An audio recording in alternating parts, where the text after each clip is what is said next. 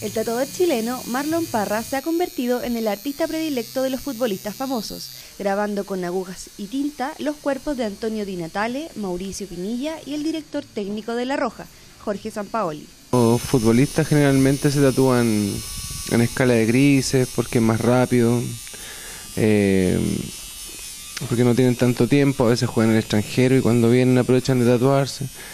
Eh, imágenes religiosas, los nombres de las familias, de sus papás.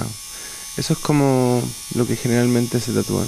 Uno de los tatuajes más significativos que ha hecho el artista chileno fue el de Mauricio Pinilla, quien inmortalizó en su espalda el travesaño del arco de Julio César con el remate fallido en el Mundial de Brasil 2014, que pudo ser el triunfo de Chile en los octavos de final.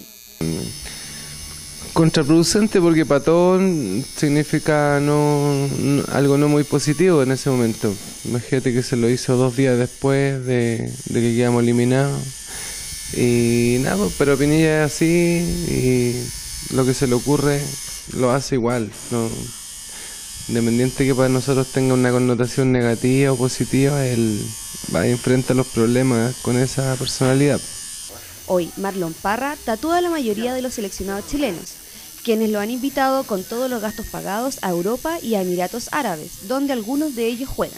Sí, lo que pasa es que a veces los tatúo cuando están en Chile luego, no sé, por el año, ponte tú que los, los, a ellos los contratan de un equipo en Europa, por ejemplo. Entonces, como tienen la confianza conmigo y se les hace mucho más fácil que yo vaya a esperar eh, venir ellos, porque generalmente vienen una vez al año para las vacaciones nomás.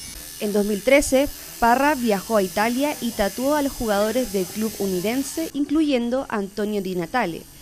También ha tenido la oportunidad de viajar a Dubái y de tatuar al técnico de La Roja, Jorge Sampaoli.